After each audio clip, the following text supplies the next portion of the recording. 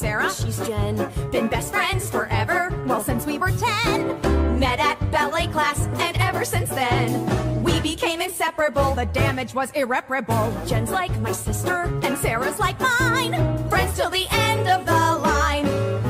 Had nothing much in common, loved horses, loved shoes, but we were attached at the hip. Jen was like a goddess, my mentor and muse. She was a nerd and a drip.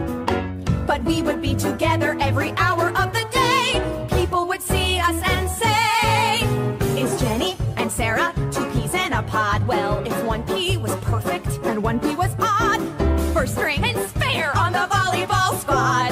Happy and gregarious. My thrills are just vicarious. Um, woo.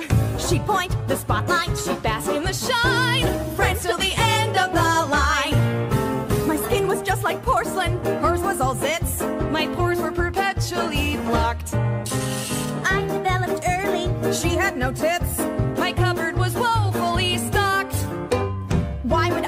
Be such a social refugee? You always looked good next to me. That's right.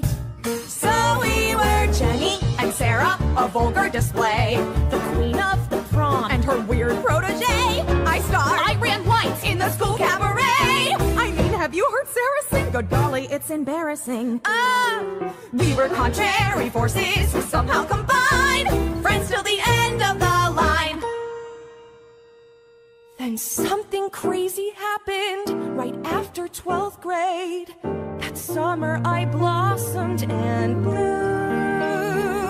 I stepped into the sunlight after years in the shade, and a beautiful swan was exhumed. Meanwhile, I was working at the local Dairy Queen and ballooned up to plus size 16. Uh, Jenny. 18. It's just so delicious. We both showed up at college, and no need to pretend I was popular right off the bat. And everyone was asking Sarah, who is your friend? The one who's so interesting? This malice aimed at Jenny was quite startling and new. So I did what all best friends would do.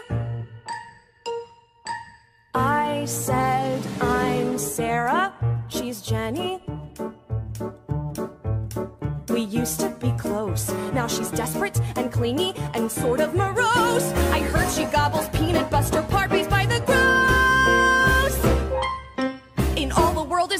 sight more tragic than this parasite?